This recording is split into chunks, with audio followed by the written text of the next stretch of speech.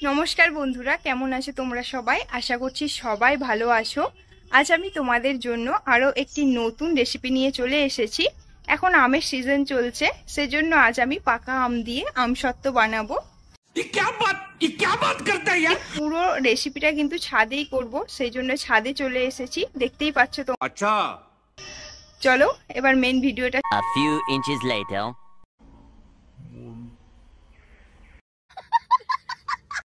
Good morning বন্ধুরা। আশা করছি সবাই ভালো আছো। Welcome back to the channel আর আজকে হচ্ছে আম দিয়ে আমসত্ব বানানো হবে সেই জন্য আম নিয়ে চলে এসেছি। ছাদে বেসিক্যালি হচ্ছে শুটিংটা তার জন্য তার হচ্ছে যে আমগুলো ছাড়ানোর পর শুকোতে দিতে হবে যেহেতু আমসত্ব হবে। তো চলো প্রসেসটা শুরু করা যাক। আমরা পাঁচটা আম নিয়ে নিয়েছি আর কিছুটা চিনি নিয়েছি। তো সবার প্রথমে আমগুলো কেটে নিচ্ছি আমের খোলাগুলো ছাড়িয়ে নিচ্ছি Step one, wake up early, gonna rise with the sun. Step two, get some good, some food in you. Step three, think real hard about what you wanna be. Step four, everybody just do your thing. Wake up, today's gonna be a good day. Wake up, today's gonna be a good day. Wake up. সব আমের খোসাগুলো ছাড়িয়ে নিয়েছি এরপর আমগুলোকে ছোট ছোট piece করে কেটে নেব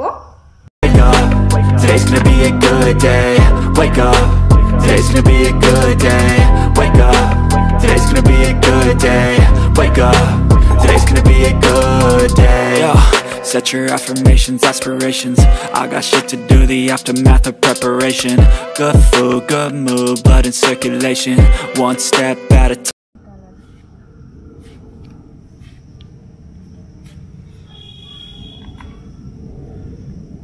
আঠির সাইড থেকে এইভাবে ছাড়িয়ে নিচ্ছি।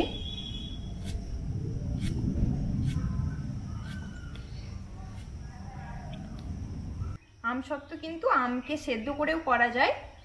সেই প্রসেসটা অন্যদিন তোমাদের সাথে শেয়ার করব। আজ এটাই শেয়ার করছি। আমগুলো কেটে নিয়েছি। এরপর এটা মিক্সিতে ভালো করে পিষে নেব। এখানে থালা নিয়েছি আর সর্ষের তেল নিয়েছি। মিক্সিতে আমটা পিষে নেওয়ার আগে থালাটা আমরা তেল মাখিয়ে রোদে দেব। কারণ থালার মধ্যে আম সত্ত্বটা দিলে তাহলে তখন তেল মাখানো থাকলে ভালোভাবে উঠে যাবে। চলো, তেল মাখিয়ে নিই। দু ফোঁটার মতো একদম অল্প তেল মাখাতে হবে। এটিকে এবার হাতের সাহায্যে গোটা থালায় মাখিয়ে নেব।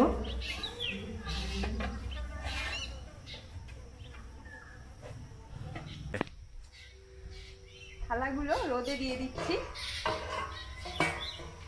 চলো এবার ফাইভ মিনিট লেটার তো বন্ধুরা এখন হচ্ছে আমগুলো আমরা মিক্সিতে ঢেলে নেব। অনেকটা আম আছে তো একবারে হবে না মনে হচ্ছে। দেখি দু তিনবার ধরে করতে হবে। এখন এটা প্রসেসটা করি।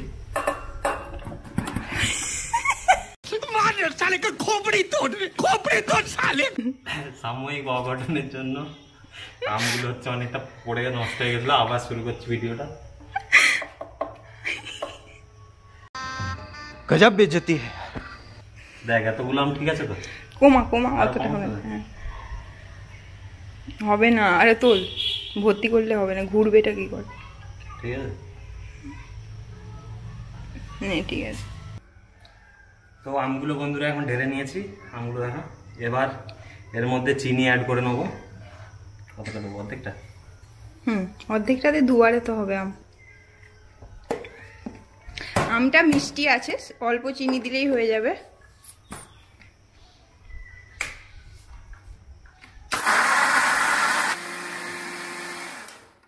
দেখ, হয়েছে নাকি?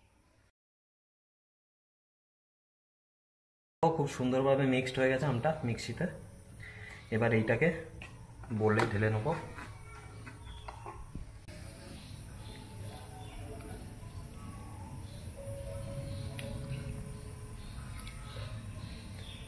তো এই আমগুলো আপাতত বাকি আছে। এই আমগুলো আরেকবার মিক্সিতে মিক্স করে নেব। কি করছি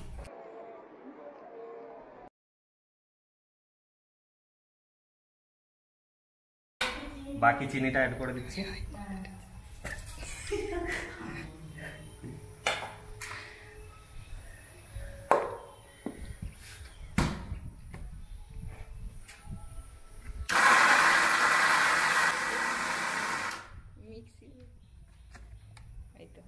এটা বেশ ভালো হয়েছে।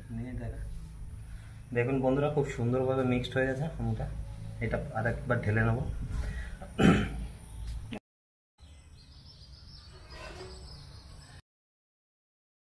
থালা দুটো তুলে নিয়ে চলে এসেছি। পনেরো মিনিটের মতো রোদে ছিল। আমগুলোতে ঢেলে দেবো। এরপর আমগুলো থালার মধ্যে দিয়ে দেব। বাটির আমটা একটা থালায় ঢেলে দিচ্ছি?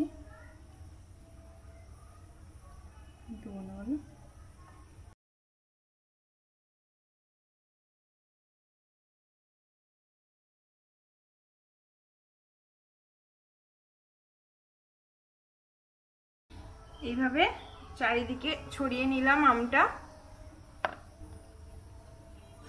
বেশি মোটা করলে কিন্তু হবে না, পাতলা রাখতে হবে। আমটা ঢালার সময় কিন্তু বেশি মোটা করলে হবে না, পাতলা করে দিতে হবে না হলে কিন্তু শুকনো হবে না। একটা থালায় ঢেলে নিয়েছি, এরপর আর একটা থালায় ঢেলে নেব।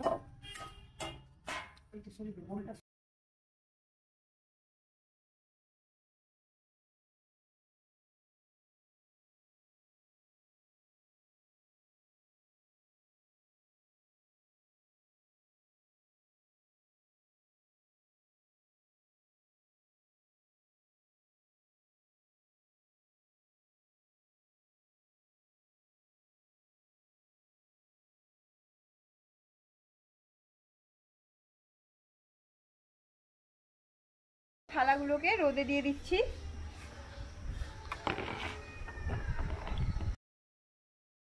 এটা কিন্তু শুকনো হতে দুদিনের মতো টাইম লাগবে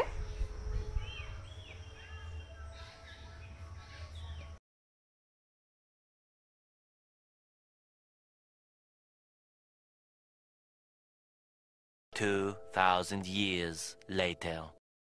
দেখুন বন্ধুরা আমসত্ত্বটা শুকনো হয়ে গেছে। থালা থেকে কত সুন্দরভাবে উঠে এসেছে।